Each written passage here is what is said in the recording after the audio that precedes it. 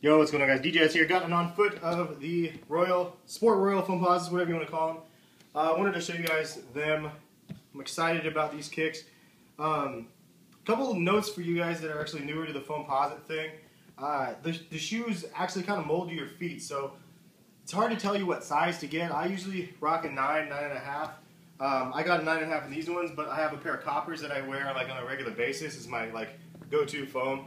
And they're size 9. But they take a while to break in. It's not like a normal um, shoe. They take a while to break in. There's the bottoms right there.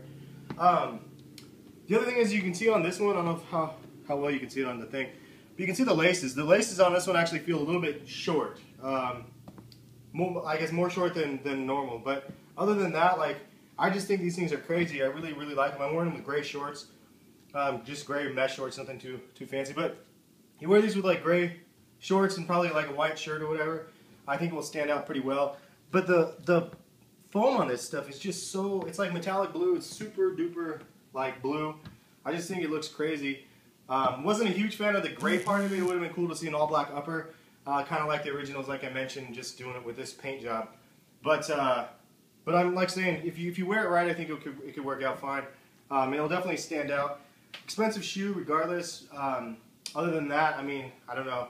Uh, I just wanted to uh, to show you guys what they look like on feet, and pretty uh, pretty excited about these guys. As you guys know or didn't know, if you didn't see my review of the Royals, um, they're my favorite like shoe of like all time, the the original penny ones. So uh, it's kind of cool just to have like a little bit of a like a, a baby cousin of, of the, the original Royals. But anyway, I just wanted to show you a quick one again. I'm tired as heck. The wedding yesterday was nuts, and uh, you know I gotta go grocery shopping and do adult things today. uh, but if you guys want to see the the uh, the Kobe's on feet as well. Leave a comment and I will post an on foot video of the uh, of the Kobe's. And uh, we'll catch you guys later. Thanks for watching. Peace.